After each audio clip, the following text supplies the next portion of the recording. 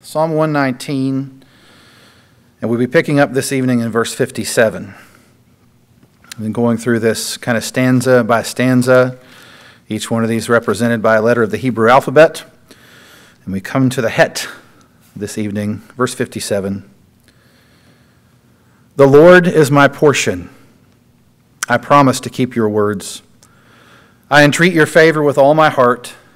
Be gracious to me according to your promise. When I think on your ways, I turn my feet to your testimonies. I hasten and do not delay to keep your commandments.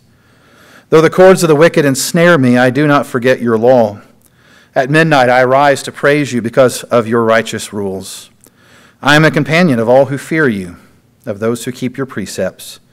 The earth, O Lord, is full of your steadfast love. Teach me your statutes. Let's pray together. Father in heaven, we delight that you are our portion. And so, God, we pray that as we look to your word and as we confess this with the psalmist this evening, that you would encourage our hearts, that you would strengthen our faith, that you would draw us closer to you, and God perhaps would even work to draw us closer to each other. We pray for our students who are even now probably involved in uh, a time of Bible study together and in your word. And uh, just pray that you would continue to work through that, that your word would not return void, but would accomplish all that you've sent it forth to accomplish. Uh, and that would be for the stirring up of faith in these young men and women and the strengthening of faith and a, and a greater desire to know you and to love you. And God, we pray for John and Reva, who are. who are, are, are waiting it out at the hospital and have been for quite a while. And we just pray that you would continue to work to give them the strength uh, to press on, to continue in this process of labor for Reva in particular, as she is uh, dealing with all the physical toil that comes with this, in, in addition to all of just the emotional uh, and, and other worries and concerns. I pray that she would know your presence, uh, that you would be very near in ways that are so abundant and evident, and that they would be sustained just by your kindness during this time. And God, we, we look forward to rejoicing with them when this young one is here and, and being able to surround them as a community as they continue to seek to raise up their children to know you and to love you, uh, to fear you. And I just pray that you would do mighty, wonderful things, that you would bring a, a quick and safe delivery, and that you would, uh, would bring health, and God, that they would be able just to celebrate the good gift um, once all of this waiting is over. Thank you for this time together. God, I pray you're glorified in it. In Christ's name, amen. Well, last week we looked at verses 49 through 56, and we talked about God's good word for suffering saints. You, you read through that passage, and we pointed some of this out last week. You see all the different ways that this psalmist is, is, is really just pointing out the ways that they are suffering. They're under great affliction, and we saw many of the ways that that is unfolding in their life. But we saw in the midst of all that difficulty what God's Word does for us in those difficult days. God's Word gives us hope in this life and for the life to come. God's Word gives us comfort even when the world stands against us. God's Word gives us zeal for God's glory and a longing for God's presence. And God's Word gives us blessing as we strive to obey it. And so we, we saw how God gives hope in, in, these difficult days, in these times of suffering. And as we come to the next stanza of this song, we really are kind of continuing on that theme, but we're kind of taking it to the next step, to the next level. In, in the, the verses that we looked at last week, the psalmist really, you get this sense that he is running to God for refuge. Uh, he, he, he's overwhelmed in his afflictions, burdened by the things of this life, but he's clinging to God's promises, almost in some sort of desperation and in pleading with God to remember his word to his servant, those sorts of things. But in the verses that we just read, uh, that we're looking at tonight, things really take on a bit of a different tone. Um, we find here that the psalmist comes across much more fully assured. Uh, he's resting firmly in God's promises. Uh, he's finding his hope. He's confident in the Lord's mercies. We find a believer here who's living out his faith and trusting the Lord and doing his will, and he's, he's blessed greatly in the midst of that. So if you, you come to that conclusion that the blessing has fallen on me, he says in verse 56, that I've kept your precepts, we're seeing that blessing unfolding in his life in that he really is beginning to approach these difficulties and these struggles with a very different sort of perspective. Now we know that apart from a work of God's Spirit, we have no hope of salvation. It's God who works through his Holy Spirit to change us, to bring about regeneration to wake us from our slumber, to open blind eyes and deaf ears, to enlighten our minds. Uh, he gives life where there was only death before. But we know from what we read in the scripture that, that the Spirit of God is really working uh, alongside the knowledge of God's Word to bring these things to pass.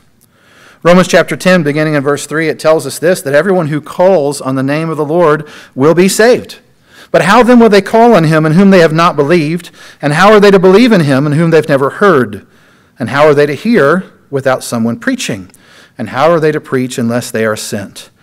As it is written, How beautiful are the feet of those who preach the good news. But they have not all obeyed the gospel, for Isaiah says, Lord, who has believed what he has heard from us? So faith comes from hearing, and hearing through the word of Christ. So we find that in Romans chapter 10. It's by a work of God's Spirit, the truth of God's Word is then applied to our hearts. And that saves us, and that sanctifies us, and that sustains us. Now, why make that point? In light of the passage we're looking at this evening, well, we've seen the psalmist in that previous passage there running to God for refuge in the midst of his sufferings. And it seems like there is that element even of desperation as he's coming and pleading with God to remember him. He's, he's got wicked men around him who are deriding him, mocking him, belittling him. But, but so he's, he's looking to God. He, he's realizing that he's a stranger in a foreign land. And so he's crying out to God in the night, in those sleepless nights. We have all of that going on. But here, in this next stanza, picking up in verse 57, we, we, really get a picture of the psalmist as having really embraced this life as one of God's chosen children, devoting his life to grateful service in response to that. And so no longer do we seem to find this man who's somewhat overwhelmed by his afflictions, but a man who's overjoyed by what he knows to be true from God's word. So I want us to think this evening on the life of someone who has been saved, who has been sanctified, who is being sustained moment by moment by God through the truth of His Word. When we're able to take hold of these things, as Colossians chapter 2 says, to, to reach all the riches of full assurance of understanding and the knowledge of God's mystery, which, by the way, he says is Christ. But when you can mine the depths of God's word and you, you pull from that God's plan of redemption and the promises he has for his children, when you begin to really grasp those things and take hold of those things and you are resting in all of God's promises, when the blessing has fallen to you, as we saw last week, to be able to keep those precepts, when you're living that way, I want to talk about the life of the one whose life has been transformed by God's word. I'm going to give you eight points tonight. And some of y'all say, oh no. But that's okay. We're just going to draw from each verse uh, a different kind of uh, primary thought there. These are going to be short and sweet. But we're going to work through these verses one by one, eight points for you, about the one who has been transformed by the Word of God. What do we find in these verses? What are the things that define, that, that, that, that kind of identify the life of the one who has been transformed by the Word of God. So we'll start in verse 57. The one who has been transformed by the Word of God treasures the God of the Word. So the one who's been transformed by the Word of God treasures the God of the Word. Look there at verse 57. He says, The Lord is my portion. I promise to keep your words. Now, if you look there at that word, Lord, you'll see it's written probably in your text in all capital letters. Maybe if you have certain translations, they may even translate it as Yahweh or as Jehovah. But Jehovah, we see here, is my portion. That word for portion would refer to a share, to an inheritance, to a possession. And there's actually an indication in the way that word is used of a chosen portion or share or inheritance or possession. Now, I think we need to be careful because we know that it is God who has chosen us, who has appointed us to eternal life, who has sent His Spirit, who has raised us up and drawn us into fellowship with Him. It's God's mercy that transforms us. It's God's mercy that has taken hold of the one who writes this psalm. But Even if Scripture says that we love because He loved us first, we know that God's love toward us awakens for us, in us, a love for Him. It, awakens in us a desire to, to know Him and to have Him and to be ever nearer to Him. And what we find here is that this psalmist is saying, Look, the thing that I desire above all else, the thing that I treasure above all else is this the Lord, Jehovah, is my portion. Now, if we think about this, you know, likely who, who's writing this psalm, there are different ideas about this. We're not given clear identification, but there's good reason to believe there's some strong uh, uh, um, teachings out there that would point us toward David writing this. If that's the case, you see, this is a really big deal. You're talking about the king of Israel who has anything and everything he could possibly ever desire in this world. Whoever this person is, whatever, they, whatever it is, though, they say, whatever this world has for me, it doesn't matter in light of who God is and the things that He has done. He is choosing to make God His portion. Now, again, put that in our understanding of the gospel. We get this that God comes to us. We love because He loved us first. But when He does that, there is a love that begins to, to, to, to be formed in us, that blossoms and that grows to the point where what we desire above all else is this to know this God who has saved us. And so he says, The Lord is my portion. Well, how do we know that God is our portion? Well, he says, The Lord is my portion. And in light of that, what's he going to do?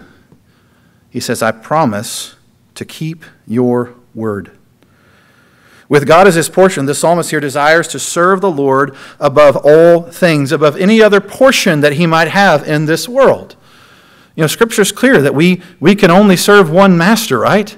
And so we can chase after the things of this world, or we can invest our lives in knowing God and, and being in relationship with God. And the psalmist here has chosen that the Lord will be his portion. And so, above all, he wants to know the Lord. And he promises then, as a result of that, to keep the Lord's word. So, the one who is transformed by the word of God treasures the God of the word. See, that was short and sweet. I told you. We can do that eight times over, can't we? The one transformed by the Word of God treasures the God of the Word.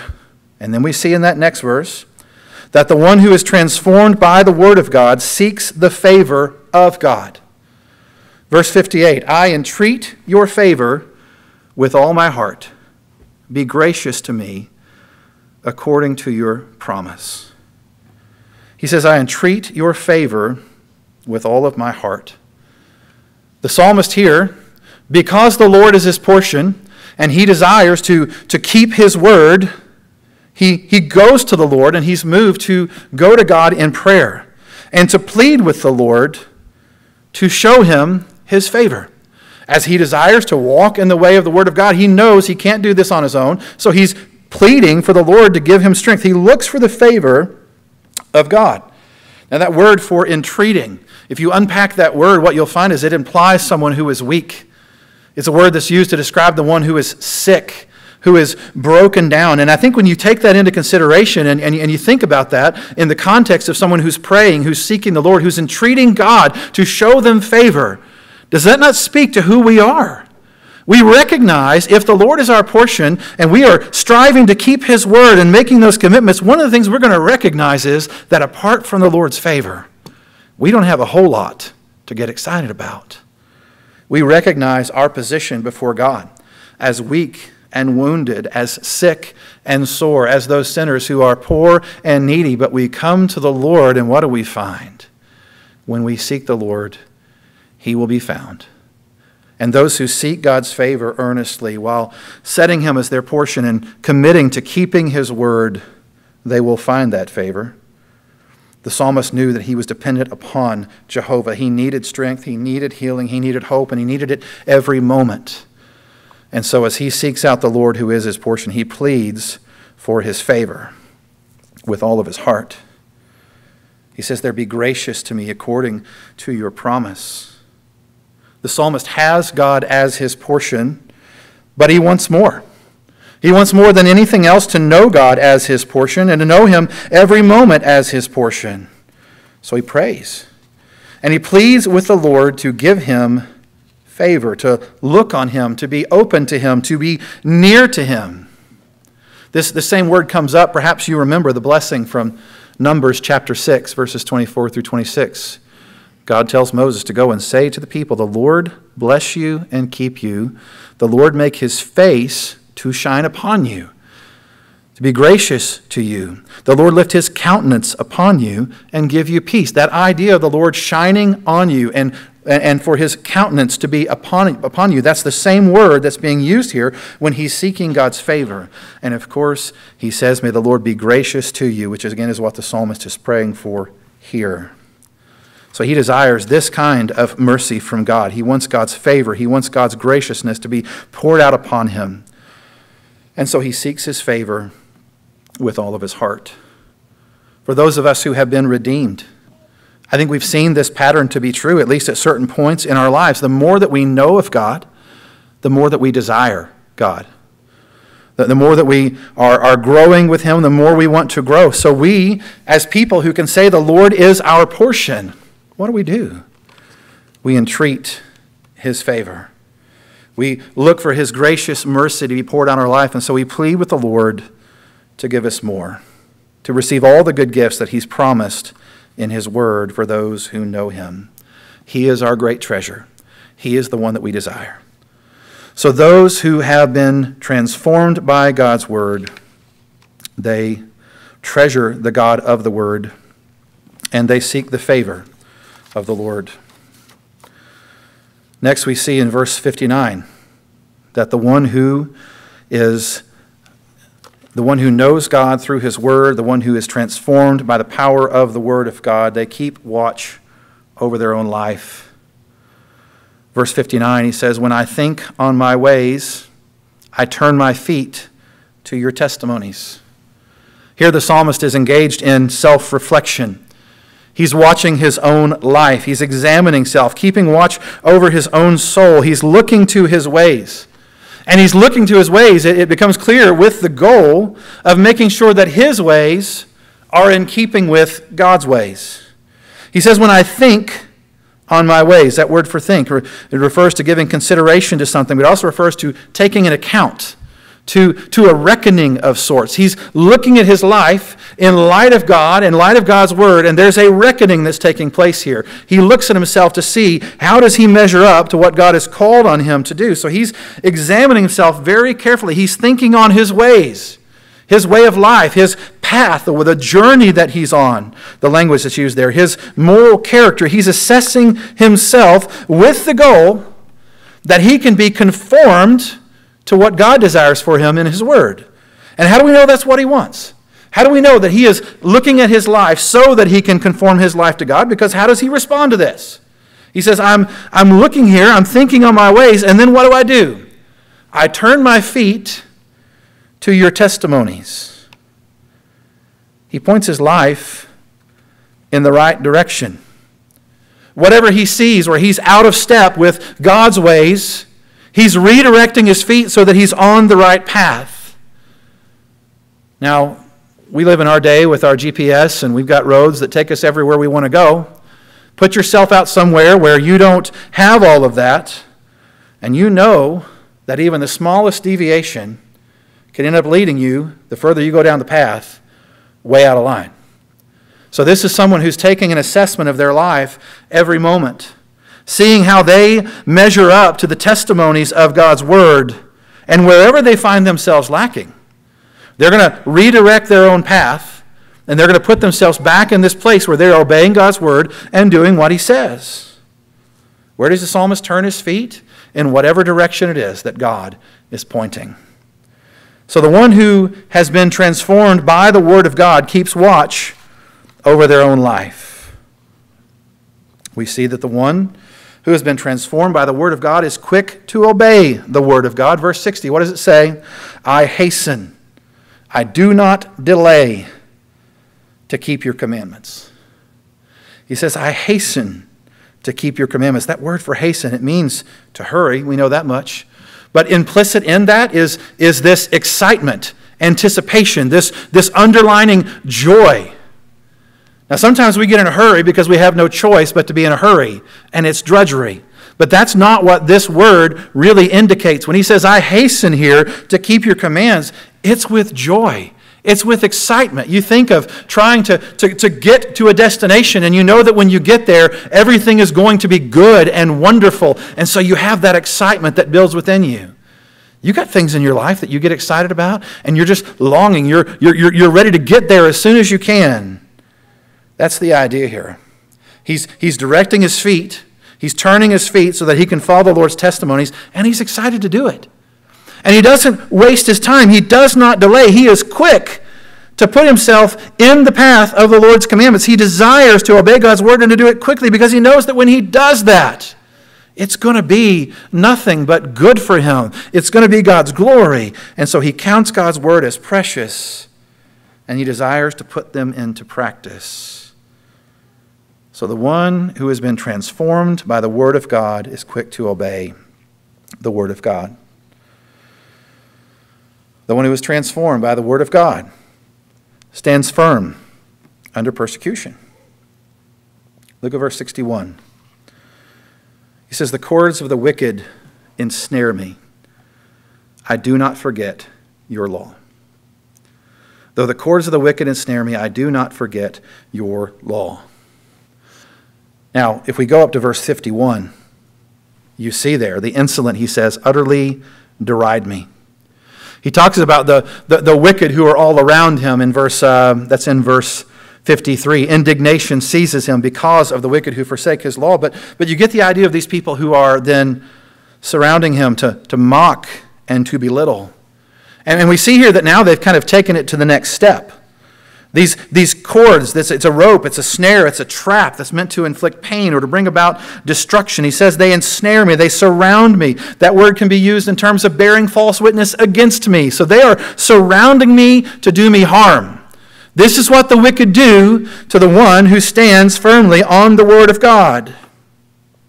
I think about the Pilgrim's Progress, if you've read that book when, when, when they enter into Vanity Fair and they find all these things going on around them and they're not going to join in, they're not going to participate in all of the, the ungodliness and the worldliness around them. And so it begins with inquisitiveness, but soon it turns to anger, right?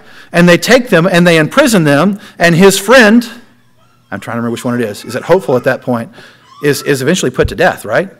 So there's this, this, this murder that takes place over obedience to God's word. This is the idea these wicked who surround me. When I won't join in, first they begin to mock and they begin to jeer. We saw that last week. Well, now they're working to ensnare me.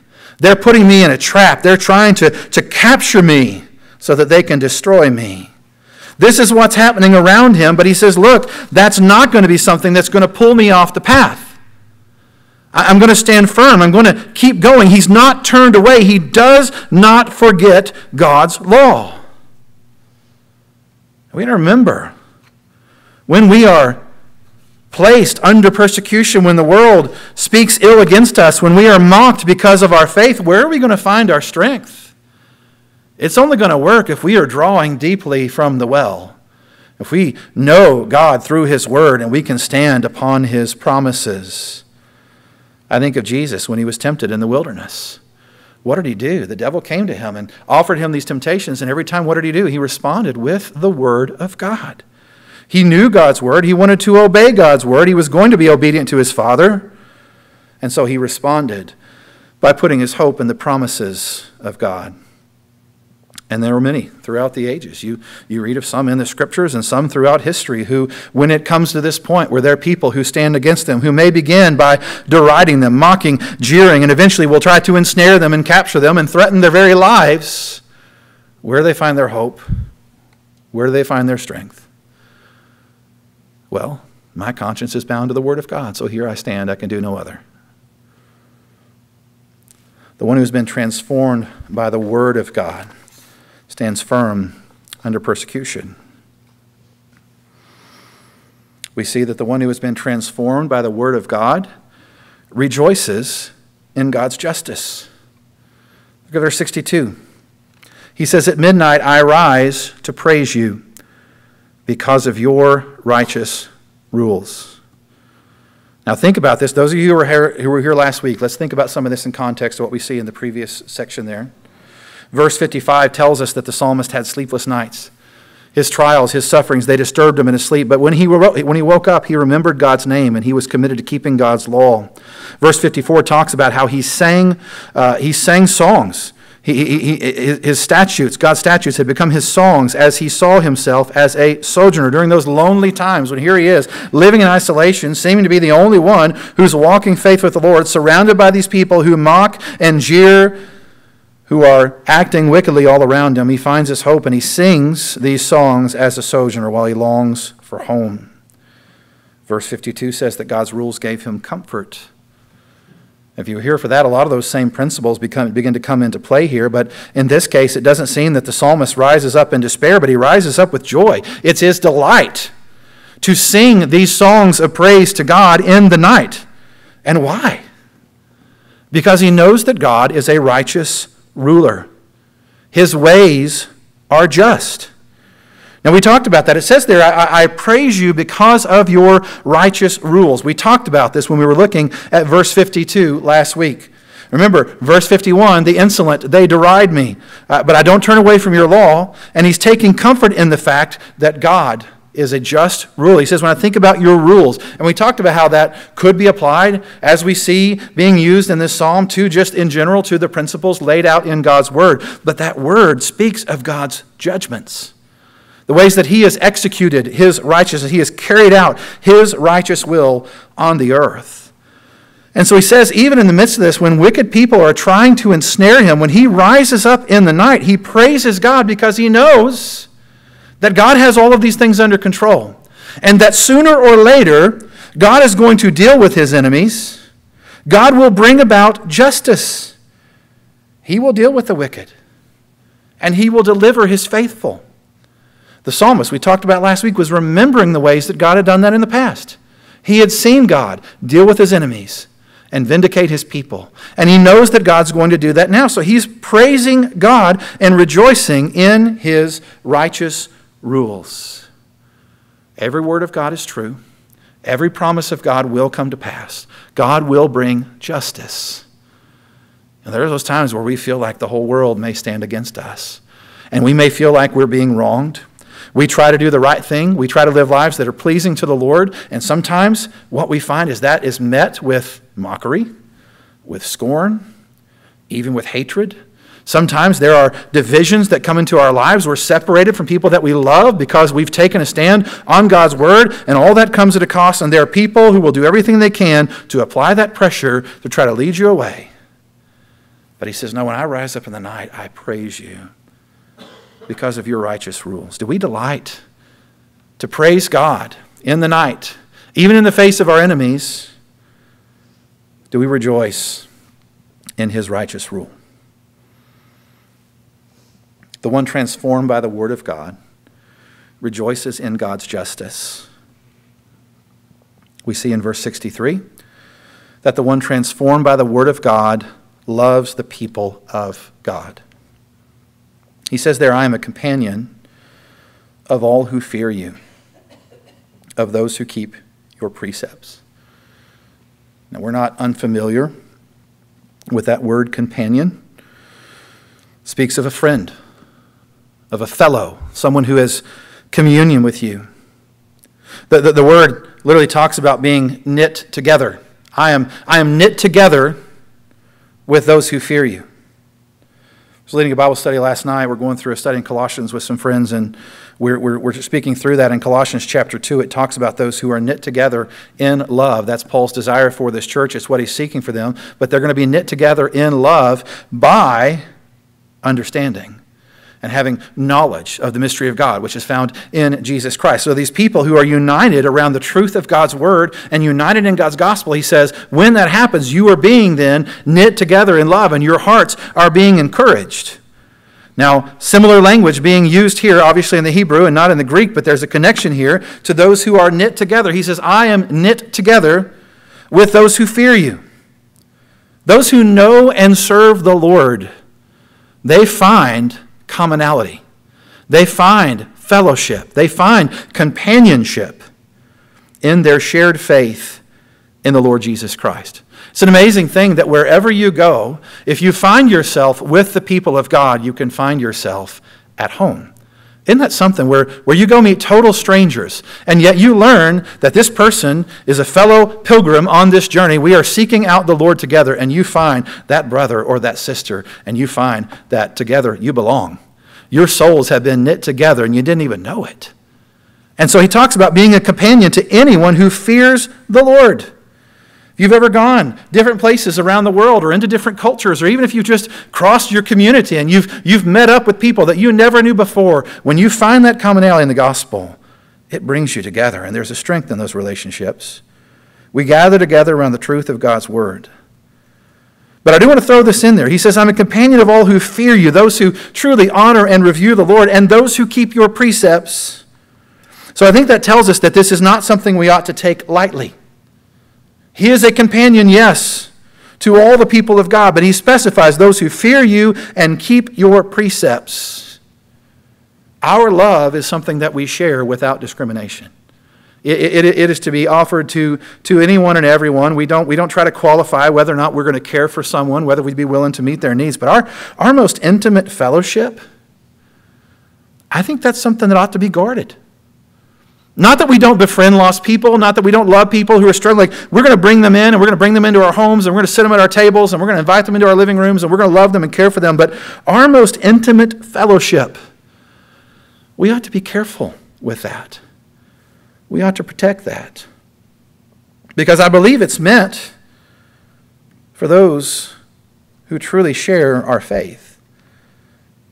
I guess I would just say that be careful who you surround yourself with day in and day out certainly be out there and developing friendships and meeting new people and loving people in the Lord and, and seeking to reach them with the good news of the gospel. I'm not trying to downplay any of that, but those closest relationships that you're going to share every moment of your life, those people that you're going to be knit together to, better be people who are on the same path that you're on.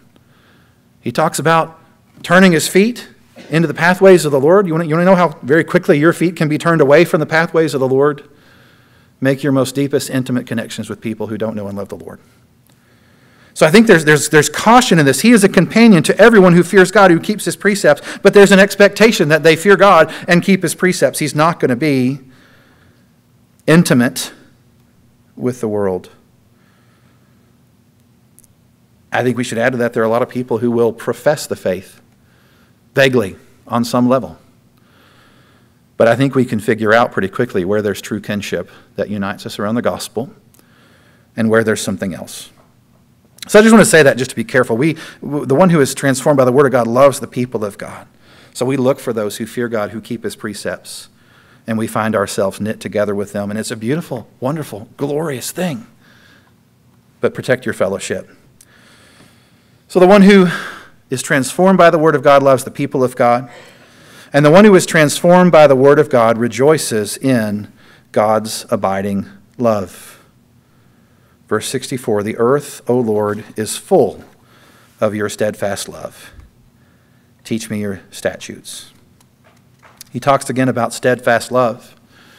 If you were here a couple of weeks ago when uh, Jeremy was teaching, he talked about that, getting into that uh, previous uh, verse 41 about the steadfast love of the Lord that comes to us, that brings us salvation. That Greek word, uh, hesed, he, he said it almost right. You had to kind of choke on those at the beginning, so kind of, this chesed, if you really want to get that right. But anyway, this merciful kindness of God that cannot fail, his steadfast love that rescues us and that redeems us. He, he says there in verse 41 that steadfast love from the Lord is God's salvation that comes to us according to his promise. And so, what the psalmist is saying is that, look, everywhere I look, I see your faithfulness. I see this abiding love that's being poured out on your creation. Everywhere I look, I know you care for your own. He sees the steadfast love of God in his care for his people, in his provision for all of creation at all times, in all places, under all circumstances. Again, if we think, if, if this is David who's writing this song, it's very possible that it is. Think about David's life. We, we studied not that long ago, going through 1st and 2nd Samuel. We, we went through all of that, right? And so David desires to please the Lord, and everything is wonderful and just goes his way. No. He finds himself alienated. He has to flee. He's hiding out in caves. He's running from place to place, trying to escape the hands of his enemy who's coming to seek his life. But everywhere he goes, what does he find? God is still faithful. God is still blessing. God is still caring for him. God is still providing for his needs because God has, a, God has a purpose. God has a plan for him that he is going to carry through to its completion. And God has a promise for all of us. The one who began a good work in us, we know this, right? We're confident of this thing that the one who began a good work in us will carry it through completion in the day of Christ. So if you think about this, if we're, we're talking about David writing this psalm and says, Everywhere I go, I find your faithfulness, your steadfast love, the same is true for us. Everywhere we go, even when things don't seem to be everything we might desire for them to be, when things are hard, when things are, are confusing, when there is struggle, when there is difficulty, we still know that God is faithful. We see it all around us. The psalmist says, Lord, your, the earth is full of your steadfast love. He sees it everywhere. It brings him joy and it moves him to want to know more of it because what does he say? God, I see your faithfulness everywhere. The beauty of your gospel is, at work. Your, your, your faithfulness is being poured out everywhere I go. So, God, teach me. Teach me. Teach me your statutes. I want to know more of this. As you provide for all of your creation, continue to provide for me. Sustain my life day by day He's building his life on the Word of God, and he says, just continue to teach me your Word. Do you rejoice in God's abiding love for you? Do you see his faithfulness around you, and do you desire to know him more because of it? This is a picture of the life of one who has been transformed by God's Word. One who says in the beginning that the Lord is my portion my greatest treasure, my greatest joy, the one that I delight in. And because the Lord is my treasure, I have all that I need. And so I'm going to build my life around knowing and serving the Lord, obeying His word, doing His will, persevering under trial, doing all that needs to be done till the day when He takes me home. The one whose life is transformed by the Word of God treasures the Word of God, seeks the favor of God, keeps watch over their own life, is quick to obey the Word of God, stands firm under persecution, rejoices in God's justice, loves the people of God, and rejoices in God's abiding love. The Lord is my portion. I promise to keep your words. I entreat your favor with all my heart. Be gracious to me according to your promise. When I think on my ways, I turn my feet to your testimonies. I hasten and do not delay to keep your commands. Though the cords of the wicked ensnare me, I do not forget your law. At midnight I rise to praise you because of your righteous rules. I am a companion of all who fear you, of those who keep your precepts. The earth, O Lord, is full of your steadfast love. Teach me your statutes. This is the prayer of the psalmist as he seeks the Lord who is his portion. And I pray that would be the prayer of our hearts as we seek the Lord who is our portion. Let's pray together. Father in heaven, we delight in you. We proclaim that you are our portion. And God, I pray that you would help us to make you our portion, to make you our greatest treasure, our greatest joy, to delight in the gifts you offer us through your mercy and your salvation. And God, that our heart's desire would be nothing more than this to know you more and to live for your glory as we keep your word. God, we thank you that your word has done its work among us, that your spirit has worked in concert with the word to help us see our sin, to see our need for mercy, and to receive the mercy that's ours through your Son, Jesus Christ. And I pray that you would help us to continue to live and to walk in that mercy in ways that are for our good as you bless us and keep your promises for us, and that are for your glory. As we live faithfully in obedience to your word, as we hold out a faithful testimony to the transforming power of the gospel, and as we long for your presence every moment while we wait for you to come. God, would you take these truths and work them into our own hearts? Transform us, we pray. In Christ's name, amen.